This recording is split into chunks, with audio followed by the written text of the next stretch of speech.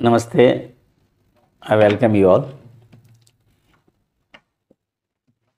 Here is a lecture for you.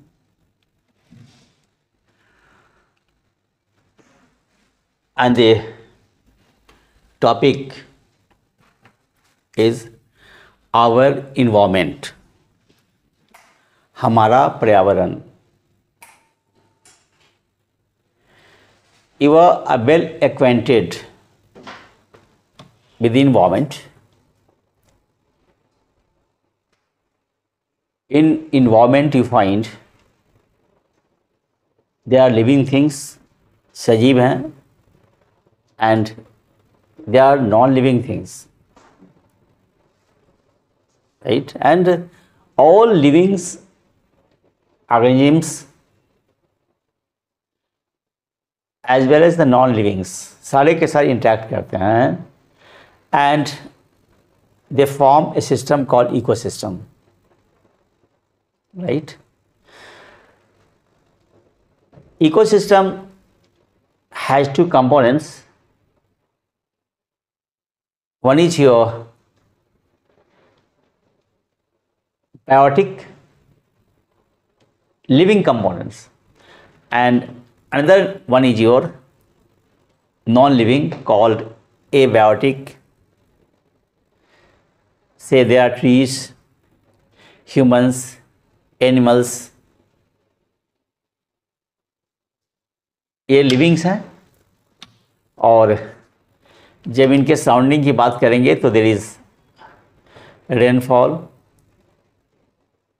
Temperature ये सब abiotic है। और because of the interactions of the human activities,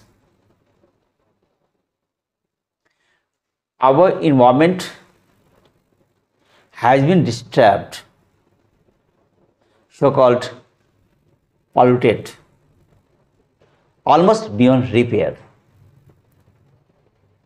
And that's why there is abnormal with the weather conditions. जैसे वर्षा का समय नहीं हो, वर्षा हो जाए, बाढ़ हो जाए there is global warming excess of melting of glaciers बर्फ़ का बहुत तेज़ी से पिघलना, और इससे क्या होगा कि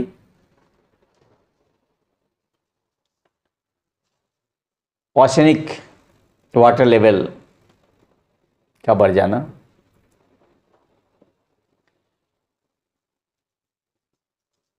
और आप जानते हैं कि देर इज़ अनवेरिएबल टेम्परेचर काफ़ी टेम्परेचर भी इन्वायरमेंट का ज़्यादा रहता है डस्ट रहते हैं व्हीकल्स हैं ब्लैक कार्बन है। How every effort is being taken to combat this ill input of environment. Waste management की बात आती है। आप देखते भी हैं कि सुबह सुबह कचरा लेने वाला आपके दरवाजे पर पहुँचता है म्यूज़िक के साथ। ऐसी स्थिति में हमारा भी दायित्व बनता है। To make our environment eco-friendly, good habitat to live in.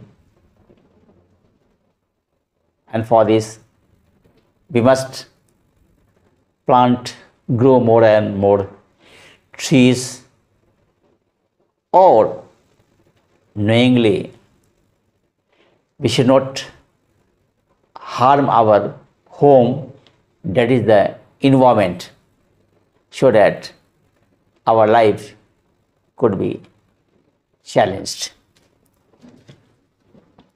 So, start with our environment. Say, global summits, you all know, international meets are there. involving the developed and developing countries are regularly held to discuss environmental issues.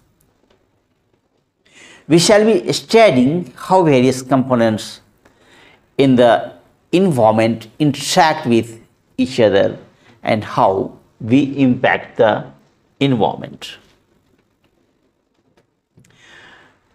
Now come to know ecosystem. What are its components, right? All organisms, say plants, animals, microorganisms, and human beings, as well as the physical surroundings, interact with each other and maintain a balance in nature. All the interacting organisms in an area together with the non-living components of the environment form an ecosystem, right?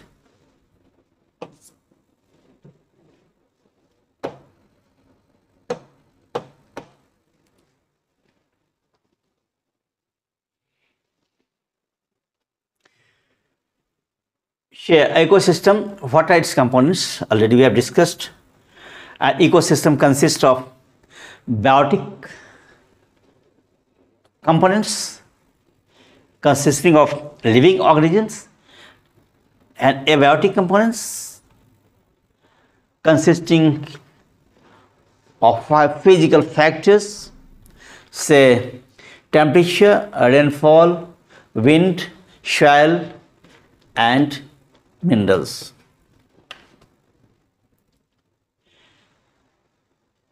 Garden is an ecosystem. Very important point. Garden is an ecosystem. Ecosystems are forests, ponds and lakes. These are natural ecosystems while gardens and crop fields are human made. That is the artificial ecosystems.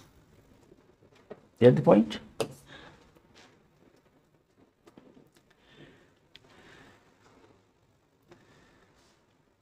Organic compounds like sugar,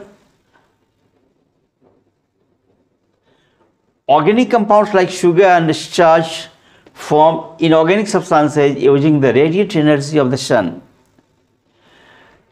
In the presence of chlorophyll, all green plants and certain bacteria which can produce food by photosynthesis come under this category and are called the producers, right? So the producers say you all know the green plants, all green plants and certain green blue algae.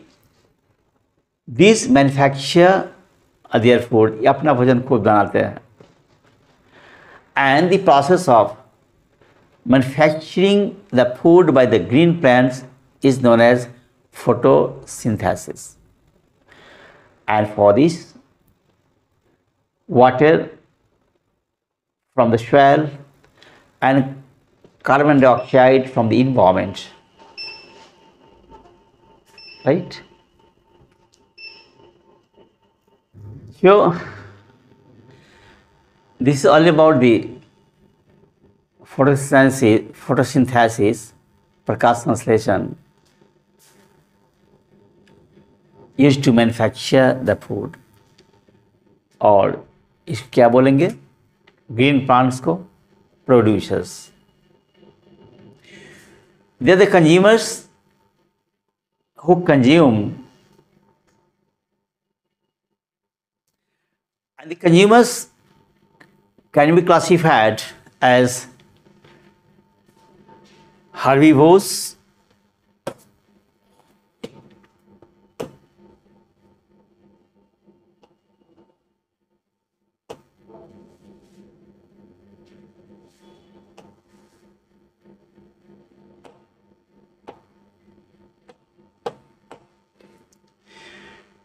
Sure, the consumers, we are talking to the consumers, classified as herbivores, carnivores, omnivores and parasites जो अपना भोजन दूसरे के body से लेते हैं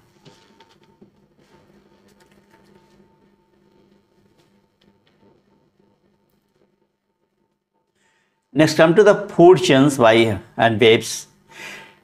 Each step or level of the food chain forms a trophic level. The autotrophs are the producers of the first trophic level. They fix up the solar energy and make it available for heterotrophs or the consumers. The herbivores or the primary consumers come at the secondary, A small carnivores or the secondary consumers and the third and largest carnivores or the tertiary consumers form the fourth trophic level, isn't it? There are the points here.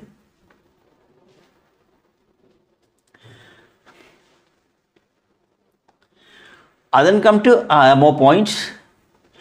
The flow of energy between the various components of the environment has been extensively studied and it has been found that the first point the green plants in a terrestrial ecosystem capture about 1% of the energy of sunlight that falls on their leaves and convert it into food energy. Important point is that this year.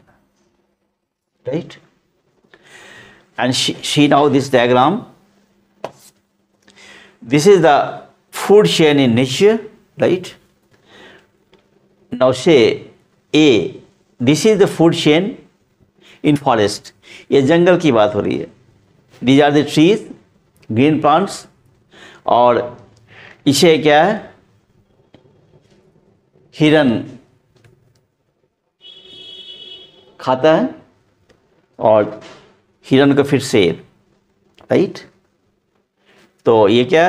ये this is the producer and this is consumer and this also consumer right now in this second second diagram in grassland दूसरे में आप देख लें grassland में।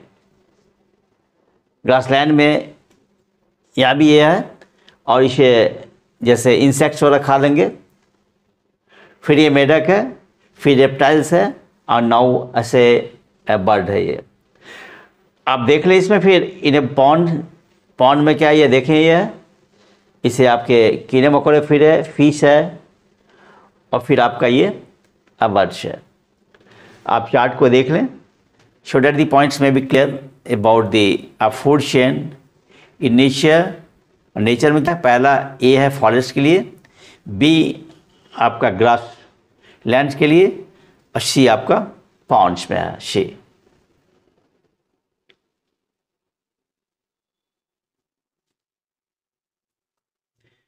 Next, uh, come to the more points. When green plants are eaten by primary consumers, a great deal of energy is lost as heat to the environment. Some amount goes into the digestion and in doing work and the rest goes towards growth and reproduction. This is the point here. An average of 10% of the food eaten is turned into own body and made available for the next level. This is very important point. Hence, 10% can be taken as the average value for the amount of organic matter that is present at each step and reaches the next level of consumers. Very important point. See here, trophic levels. First trophic levels is your producers, right? Second one is your primary consumers. And third one is your secondary consumers. And fourth one is your tertiary consumers, right?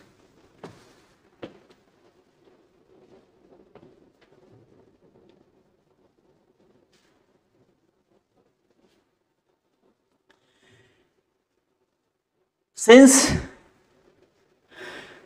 surely energy is available for the next level of consumers, food just generally consists of only three or four steps.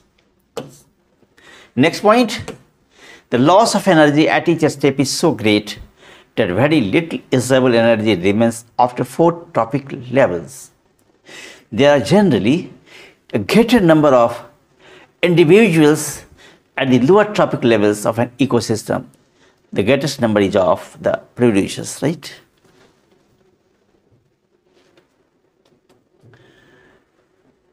The length and complexity of food chains vary greatly. Each organism is generally eaten by two or more other kinds of organisms, which in turn are eaten by several other organisms. So, instead of a straight line food chain, the relationship can be shown as a series of branching lines called a food web. See uh, this diagram. Uh, uh, this will make the points clear.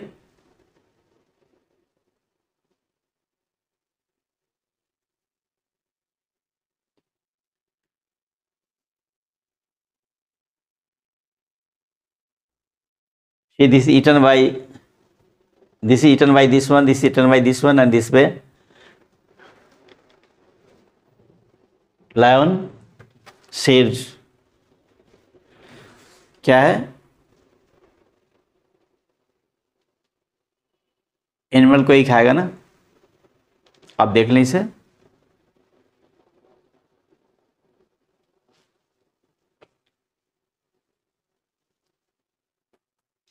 Next the energy that is captured by the autotrophs does not revert back to the solar input and the energy which passes to the herbivores does not come back to autotrophs, right? As it moves progressively through the various trophic levels, it is no longer available to the previous level. Secondly, the energy available at each trophic level gets diminished progressively due to loss of energy at early each level. This is the point.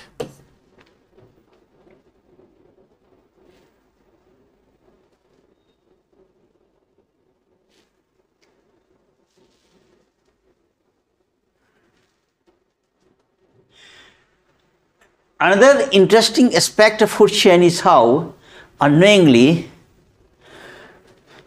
share some harmful chemicals into our bodies through the food chain. स्वाभाविक है। आ, जब भी हम crops ये करते हैं plants में हम लोग we use chemical fertilisers and क्या होगा? ये हमें डैमेज करेगा। और this reaches through the food cycles into our bodies और हमारे बॉडीज़ के मेंटल एंड फ़िज़िकल हेल्थ दोनों के अफेक्ट करता। हाउ वाटर गेट्स पॉल्यूटेड जब हम जल के पॉल्यूशन की बात आएगी तो वाटर पॉल्यूशन में भी देखेंगे। One of the reason is the use of several pesticides and other chemicals to protect our crops from diseases and pests. These chemicals are either washed down into the soil or into the water bodies. From the soil, these are absorbed by the plants along with water and minerals.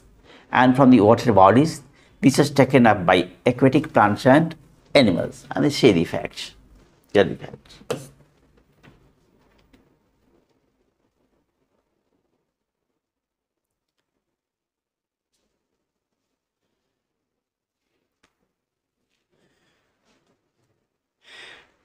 This is one of the ways in which they enter the food chain. A point. As these chemicals are not degradable, these get accumulated progressively at each trophic level. As human, human beings occupy the top level in any food chain, the maximum concentration of these chemicals get accumulated in our bodies. This phenomenon is known as biological magnification. A very important point here meaning of biological magnification. This is the reason why our food gains such a weight, rice, vegetables and fruits and even meat contain varying amounts of pesticides, residues, they cannot always be removed by washing or other means.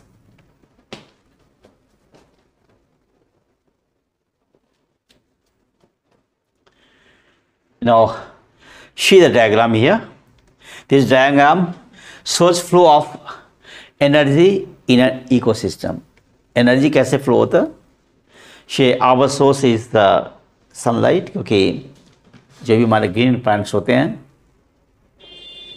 वह सूर्य के प्रकाश की उपस्थिति में ही photosynthesis से भोजन बनाते हैं so source energy is sunlight और sunlight taken by the producers और फिर क्या है हार्वीवोर्स में चला जाता है और then now this carnivores and now top carnivores so see the diagram this will speak their story very clear right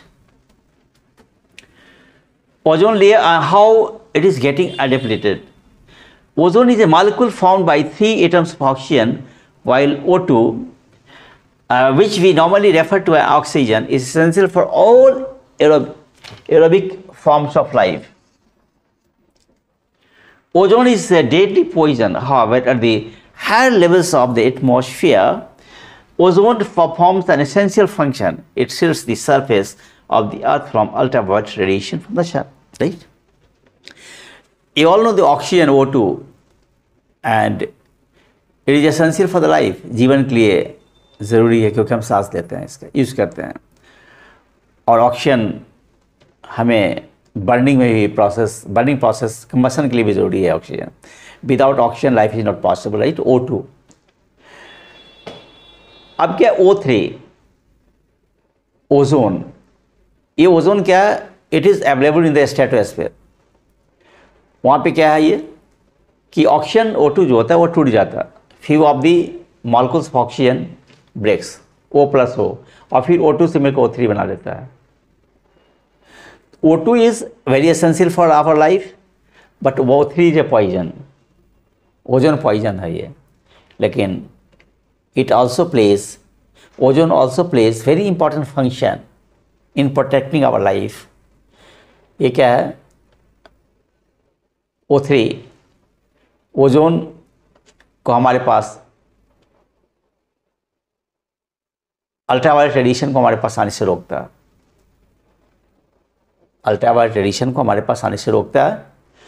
And that's why for ultraviolet, uh, ultraviolet radiation not to reach our uh, reach on the earth this uh, ozone plays as और रोकता है और हमारे पास नहीं आने देता है and you all know ultraviolet radiation is very energetic and if it is expose to our human bodies हमें एक्सपोज होगा this may cause otherwise health damage or the, even the skin burning and skin cancer right?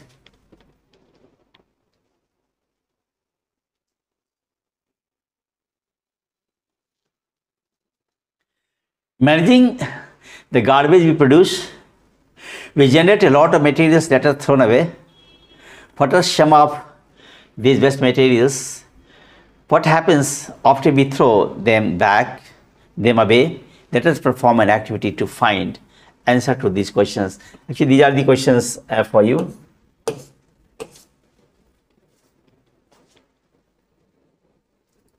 Okay. Now again important facts. Share are various components of an ecosystem you all know. And both biotic and abiotic components are in, interdependent mind it this point the producers may make the energy from sunlight available to the rest of the ecosystem. Second point there is a loss of energy as we go from one trophic level to the next. This limits the number of trophic levels in a food chain. Human activities have an impact on the environment i told you.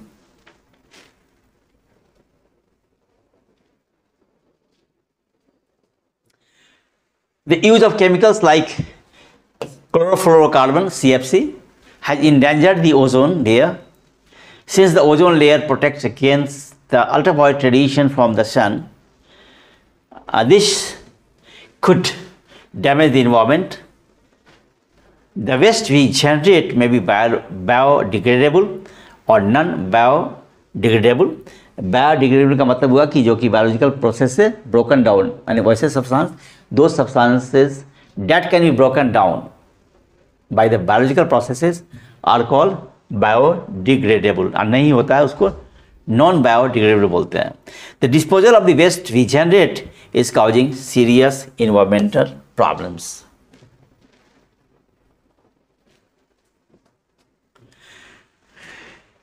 So that's all for the day. Thank you.